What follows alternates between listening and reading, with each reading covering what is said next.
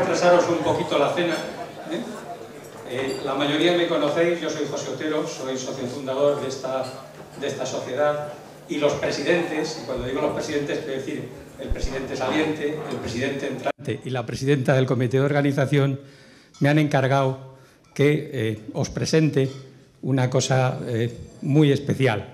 Cádiz tenía un sentido especial como congreso, porque era un sitio donde de alguna forma había habido muchas situaciones importantes y donde de alguna forma nuestro fundador había empezado a trabajar.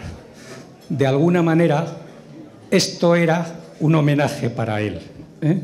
Y bueno, quizá porque yo he sido la voz disidente muchas veces en la asociación o porque soy el residente más antiguo que él tuvo en Madrid, eh, me han concedido este honor y para mí es un auténtico placer el presentaros algo que va a empezar a ocurrir. Casi todos conocéis la historia del profesor desde que la asociación empieza. Si me dejáis en dos minutos os cuento antes de la asociación. Yo era residente en el servicio del antiguo profesor López Ibor, acababa de sacar mi plaza, cuando salió a concurso la oposición, porque desde que López Ibor había dejado esa plaza, estaba ocupada siempre por una persona interina. Esa plaza sale a concurso y la obtiene el profesor Calcedo. Como no era la persona, digamos, elegida por el servicio, no fue bien recibido en el hospital, lo cual a mí como residente me vino Dios a ver, ¿qué queréis que os diga? Porque significó que los residentes para él siempre han sido importantes, pero en aquel momento mucho más. Las primeras cosas que publiqué, las primeras cosas que escribí, las hice gracias a él. De entonces a hoy creo que nos hemos peleado un montón de veces, que hemos discutido un montón de veces, pero él sabe que sinceramente le quiero y le quiero mucho. Además le tengo que agradecer más cosas, porque luego de pronto se organizó en el hospital un trabajo en el que una trabajadora social que en aquel momento era voluntaria apareció con el hospital ya llevo 30 años casado con ella, o sea que tampoco pasa nada. Así que, profesor Calcedo, este es el homenaje de toda la sociedad porque te lo mereces y porque somos todos lo que tú quieras.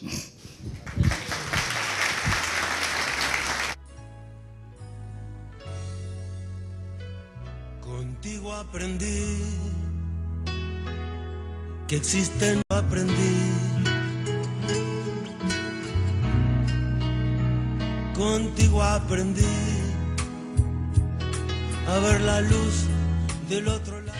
Que a pesar de que yo a lo largo de mi vida sé que mm, he aprendido muchas cosas de muchas personas distintas, hay muy pocas personas a las que yo considero maestros y el profesor Calcedo es una de ellas.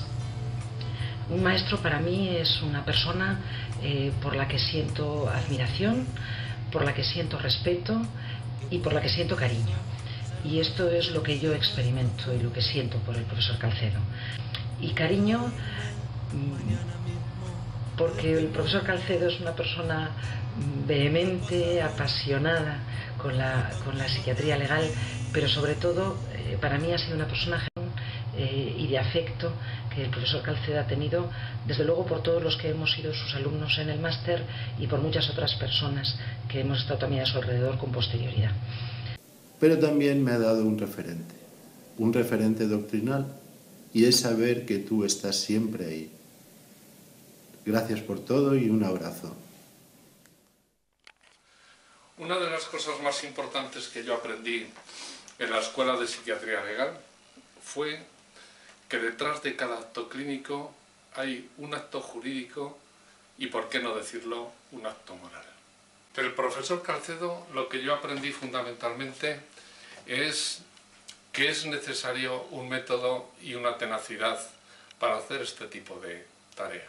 Sí que mi actividad clínica hay un antes y un después, después de, eh, de enfocar las cosas de una manera distinta de la puramente clínica en el interior de la consulta.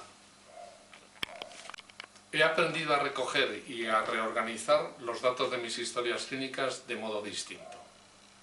Y desde luego yo sé que nos movemos a la hora de valorar a nuestros pacientes y a la hora de explicarlos a los demás en el terreno de lo que yo diría una geografía o un terreno de especulación con pruebas.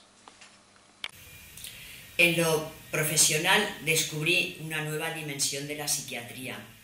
Mis pacientes pasaron a recibir pues no solo una valoración clínica, sino también una valoración psiquiátrico-legal y ética.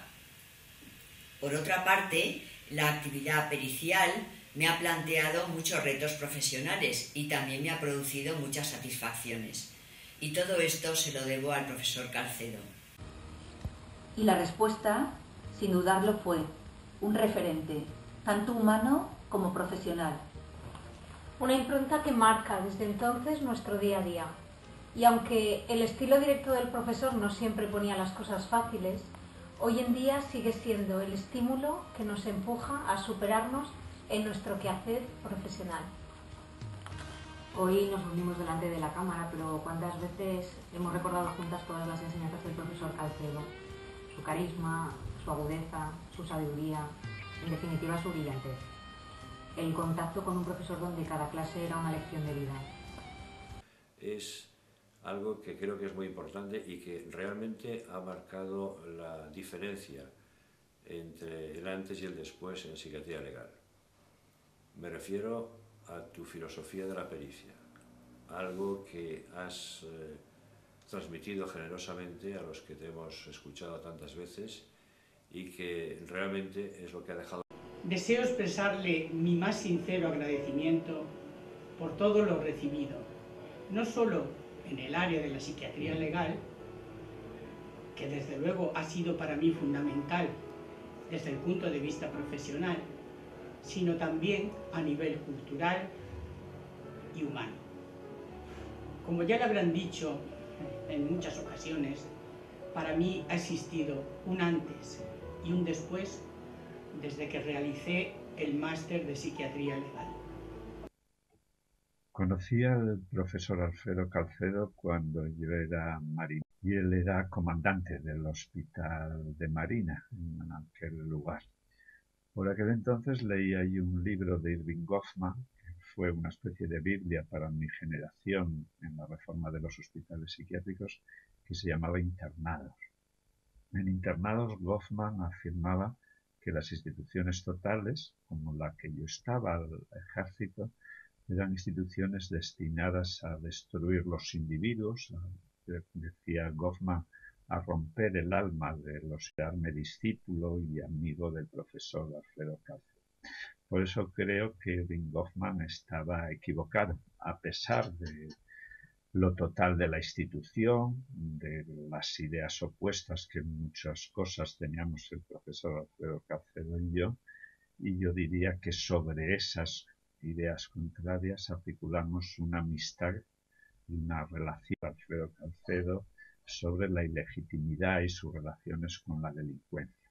Esa, el agradecimiento que un aprendiz de psiquiatra como yo pudiese firmar un artículo en una revista de bastante prestigio, hizo que tuviese una deuda, una deuda perpetua con el profesor Alfredo Calcedo, que eh, yo creo articuló mi relación con él de respeto, de admiración, pero por su parte también de correspondencia de, ese, de un respeto intelectual y de poner en juego siempre las diferencias que pudiésemos tener entre los dos que duró como digo toda la vida y que nos permitió pues que cuando viniese por ejemplo a alguna conferencia que yo le invité en Gijón en Asturias en lugar de buscarle un hotel eh, le ofreciese la hospitalidad de mi casa y que la aceptase como prueba de confianza.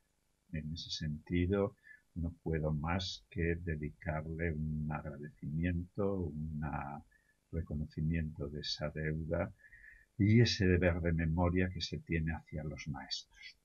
Buenas noches a todos. Enhorabuena, profesor. Es usted un fenómeno. Yo no debería estar haciendo este vídeo, ya que mi encargo era solo montarlo, pero montándolo vi que faltaba algo. No quedaba redondo. Brevemente decir que imagínense con lo que han contado esta gente, que tengas el privilegio, como a mí me ocurrió, de hacer el máster siendo residente de tercer curso y adjunto de primer año. La impronta en mi forma de entender la psicopatología creo que fue definitiva.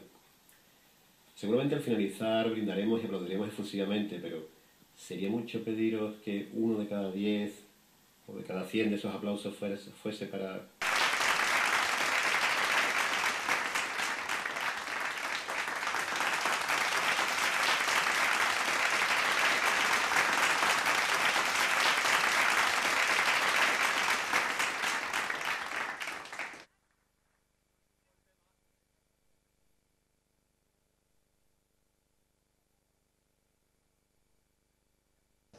A mí no me cabe ninguna duda que este Congreso va eh, por un camino imparable hacia la excelencia. Y a ello se suma, pues, este, el éxito que ha habido en las comunicaciones. Nunca habíamos tenido este número tan extraordinario, 34 comunicaciones, ni a un nivel científico como ha habido, ni a una diversidad y unos títulos novedosamente originales. Ha sido dificilísimo tener que, escoger. Realmente eh, ha sido una labor muy difícil. Han quedado todos casi puntuados al mismo nivel, pero mm, teníamos que dar una tesis. El accesis ha sido para infanticidio y enfermedad mental. Autores Muñoz García Lago, Gonzalo Esteve y San García, que son todos psiquiatras de los, del Hospital Psiquiátrico Penitenciario de Cataluña.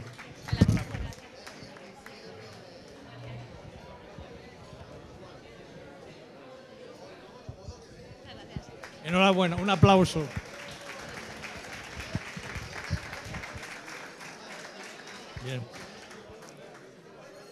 El segundo premio a conducta violenta previa al ingreso psiquiátrico, factores asociados.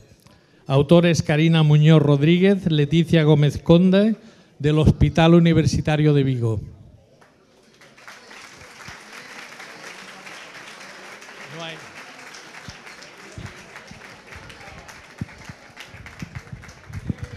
Enhorabuena.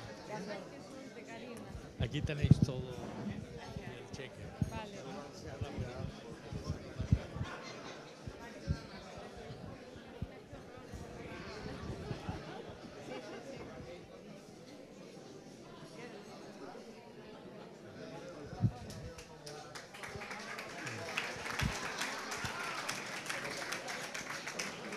Y el, primer premio, coerción percibida y satisfacción con el tratamiento durante la hospitalización de los pacientes ingresados de forma involuntaria. Javier Hernández Pedrosa, Marina Mate, Hospital Universitario de Málaga. Carlos Haya de Málaga. Muchísimas gracias.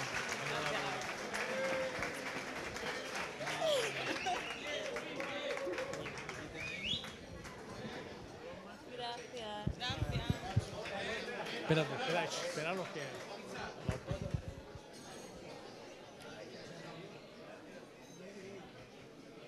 Muy bien. Paso a Iñaki. Iñaki. Sí, el libro a ver si aparece por ahí. Que aparecerán. Bueno, muy buenas noches. Cinco minutos de atención. Desde hace unos tres o cuatro años, esta sociedad tiene una buena, una sana costumbre de, eh, bueno, de hacer un pequeño, de hacer un pequeño reconocimiento a la gente que de una forma u otra, pues a lo largo de los años, bueno, pues ha dado, en fin, y haya apoyado, especialmente a la, a la sociedad en su devenir, en su recorrido. Es una, insisto, es una sana costumbre y una buena costumbre que esperemos mantenerla con los años y por supuesto que hoy y en esta ocasión en Cádiz también lo vamos a hacer. Como no podía ser otra forma, el homenajeado en esta ocasión, eh, por razones más que sobradas y sin ningún demérito hacia los anteriores homenajeados, pero en esta ocasión de forma muy especial al profesor Calcedo Ordóñez. ¿eh? Eh, por muchos motivos, pero bueno, sobre todo no perdamos de vista que es el socio fundador de esta, de esta sociedad. Eh, de forma muy sintetizada, pues lo que ayer de una forma u otra salió a lo largo del, del día. Razones, pues posiblemente pues porque le admiramos mucho, mucho, pero sobre todo pues porque le queremos muchísimo. Y en la vida todos sabemos que el tema de los afectos es determinante. Porque le queremos muchísimo, pues al profesor Calcedo Ordóñez, pues le hacemos ahora una entrega muy sencilla de un de una placa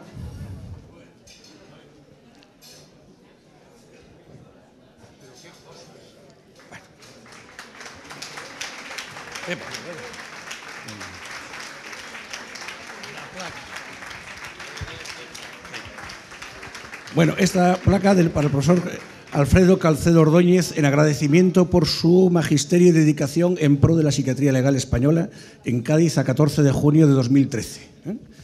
En homenaje de la sociedad que usted fundó hace 22 años. ¿Eh? Exactamente.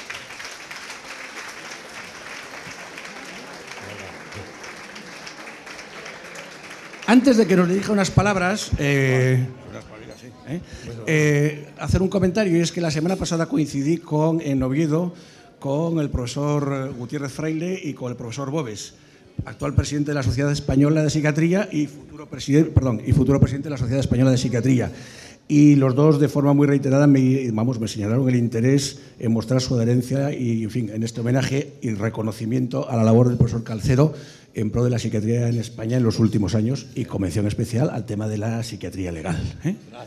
Entre nosotros, pocos catedráticos, o iba a decir que igual ninguno, con permiso de don Miguel que está ahí, han tenido la capacidad de crear la escuela que ha creado aquí el profesor Calcedo Ordóñez. Las cosas como son. Profesor Calcedo, muchísimas gracias. Bien.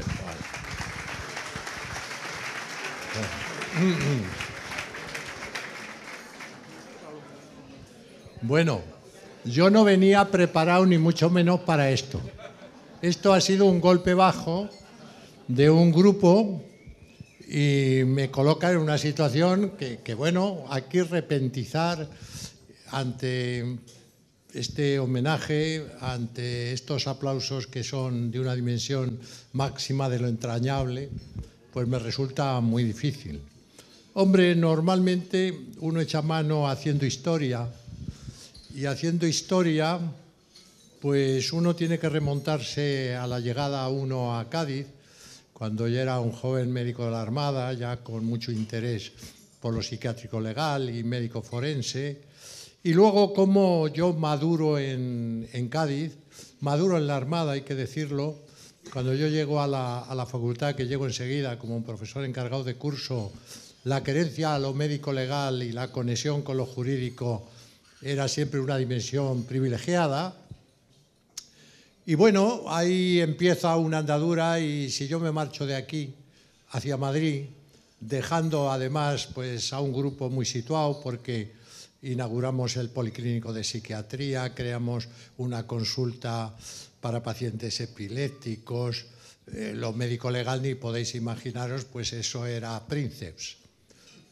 Entonces eh, yo me voy y, bueno, mm, me voy porque Llego al Hospital Gregorio Marañón, que es un lugar privilegiado en aquellos años, es un hospital de la beneficencia, donde aparte de pacientes de la seguridad social acudían pues todos los marginados a vida por haber, en fin, aquellos que tenían la cartilla de beneficencia que eran pobres de solemnidad, que se decía en el siglo XIX, y que evidentemente en aquella marginalidad y en aquella precariedad pues daban caldo a lo psiquiátrico legal. Y hay un momento determinante que es de lo que yo me puedo sentir orgulloso. Y es que en un momento en que el ser profesor de psiquiatría universitario tenías a tus pies las multinacionales para hacer todos los ensayos habidos y por habidos y viajar a lo largo del mundo, yo opto por lo psiquiátrico legal y aquello no me interesa. Y entonces, cuando la psiquiatría forense pues, está como desintegrada, porque sí hay alguno que hace alguna cosa, pero está todo además muy sistematizado en el régimen anterior, con los médicos forenses, hay que recordar que entonces no había dedicación exclusiva, entonces todo funcionaba mm, pues muy bien, hay que, hay que decirlo, en ese sentido de, heterogeneidad. Entonces, eh, esa renuncia mía a lo psicofarmacológico, psicofarmacológico que tiene una emergencia y una posibilidad espléndida de todos los órdenes. Yo repito, me dedico a lo, a lo legal y entonces aparece esa situación de creación en la universidad porque los cursos de doctorado resulta que van a menos y entonces las universidades deciden generar máster copiando lo que viene de las escuelas de negocios para responder a la sociedad.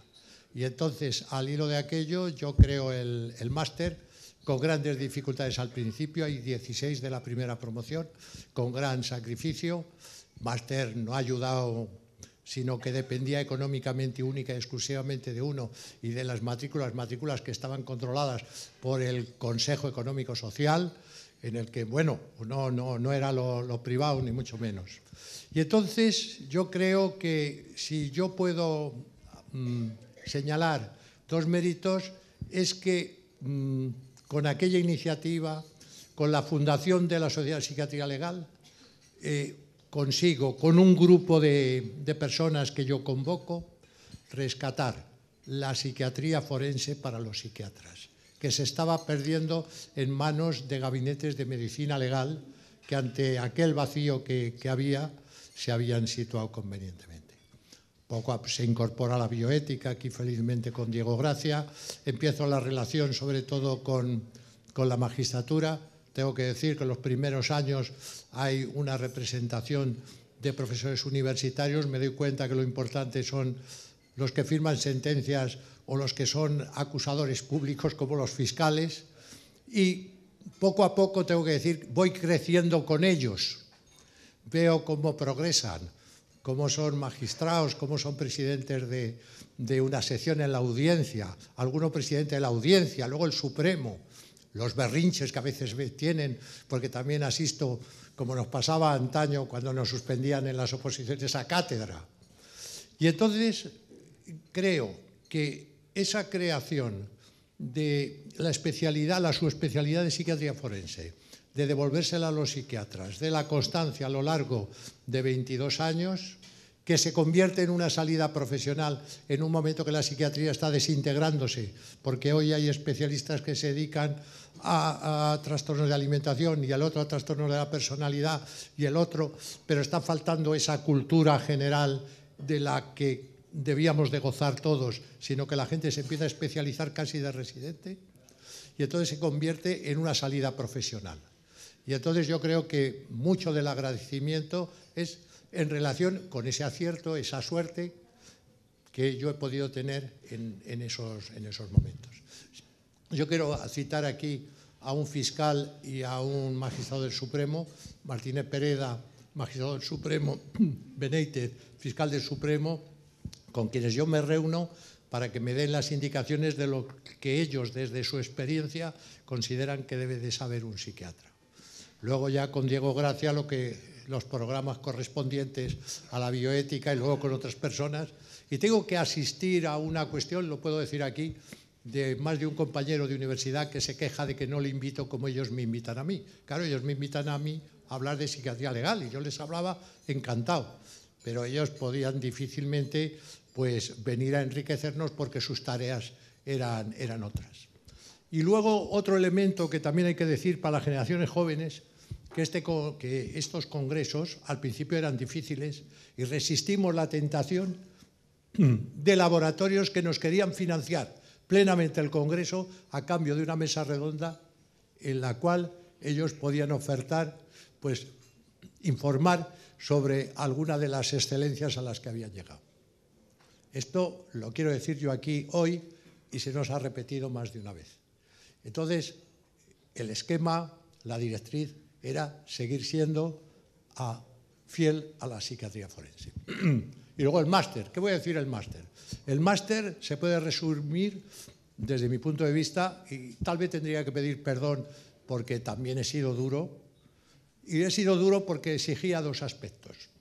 Dos aspectos. Uno, rigor y otro, esfuerzo por la objetividad.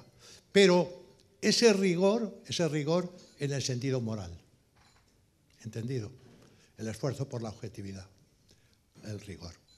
Y luego yo voy a contar aquí una anécdota que me la ha recordado Julia Cano para que sepáis también que yo tengo mis rasgos que vete a saber cómo se les puede calificar.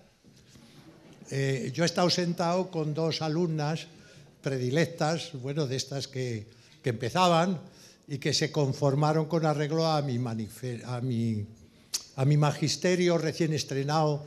Claro, cuando tú después de una oposición de cátedras llegas hay que ver lo que sabes, lo que exiges, etcétera, etcétera, etcétera. Luego te atemperas y luego dices que ya no es para tanto y que te has pasado de rosca. Pero bueno, entonces, claro, yo les exigía unas historias clínicas que, bueno, claro, se las rompía, tienes que hacer la historia clínica, esto no puede ser, esto lo tienes que redactar de esta manera, etcétera, etcétera. Entonces, una vez, después de ya tiempo, doña Julia Cano, me parece que iba por la séptima. Y llegó la octava, y entonces se pasó a máquina para que sirviera de modelo. Yo creo que Julia Cano, que sabe Dios lo que pensaría de mí entonces y las maldiciones internas que echaría, al cabo del tiempo seguro que me lo agradeció porque las historias clínicas pues la han conducido pues a lo que a lo que soy como persona relevante en la psiquiatría española. Y eso pues se puede repetir con Pilar Moya y se puede con Félix Baratech y luego ya en el máster pues Dionisio, Sánchez Sevilla, bueno yo aquí Perea, ya puedo contar Cipriano Moga, La Marina conmigo, etc. Entonces es un estilo, un estilo de exigencia que viene muy bien para la psiquiatría legal que es tan especulativa en, otra, en otra gente. Y, y bueno, también que uno pues ha procurado no ser de los que se guarda el truco. O sea, eh, posiblemente, posiblemente es el ser generoso pues, con, con los alumnos, enseñarles lo que tú sabes, enseñarles a hacerlo lo mejor posible. Ni que decir tiene, que yo tengo, hoy ha sido una placa, otra vez, en un máster me regalaron, pues vinieron con una vara. La vara era una maquila. La maquila es la, vara, le pregunté yo a uno de los autores intelectuales, ¿qué significa esto? Dice, no, esta es la vara de los pastores que indica jerarquía, porque todos estos me han conducido, me han conducido a este momento de jerarquía que me desborda emocionalmente, como os podéis imaginar. Eh, hay esa frase, hay esa película Ciudadano Kane, yo he incorporado el Cineforum al máster, al de bioética también, y en otros sitios. Ya sabéis, el ciudadano Kane, en el principio está al final. Hay una frase con la que yo quiero terminar, que me la habéis oído alguno, que yo creo que resume todo lo que llega hoy. El camino hacia arriba y el camino hacia abajo es uno y lo mismo. Entonces, hoy que estamos en el momento último, afortunadamente por ahora no el final, en este momento último está el principio. Y está el principio, que son todos estos queridos amigos que han movilizado este homenaje, están todos los que han seguido después, están los que van a empezar dentro de poco, todo en orden, a enfermos mentales, a enfermos mentales que tienen problemas y que desde la honestidad, desde la honestidad y el esfuerzo por la objetividad, que es la divisa que podríamos decir del máster, es en lo que hemos trabajado, trabajamos y desde luego, mientras el cuerpo aguante, seguiremos trabajando. Muchas gracias a todos.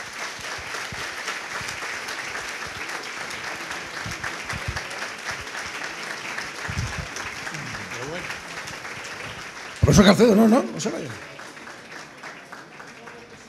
Nada, nada, bueno, sin más, esto va por partes.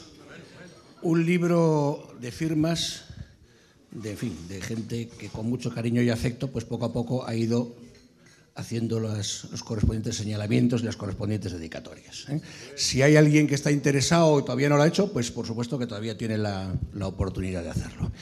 Y si me permite, creo que es importante que hoy se sepa aquí que en la asamblea, en la asamblea de la sociedad que hemos celebrado esta tarde, Ahí ha habido una solicitud de 17 socios nuevos que lógicamente han sido aceptados y que de una forma u otra creo que es significativo de que la sociedad que hace 22 años fundó este magnífico caballero, pues tiene presente y tiene muchísimo futuro. Correcto. Pues muchísimas gracias.